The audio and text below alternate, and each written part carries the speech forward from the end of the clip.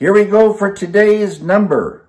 It's March 19, 2022. 10 balls. Each ball has a number. Numbers 1 through 10. Swirl the numbers.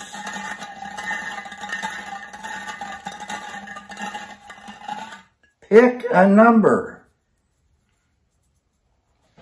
Today's number is 8.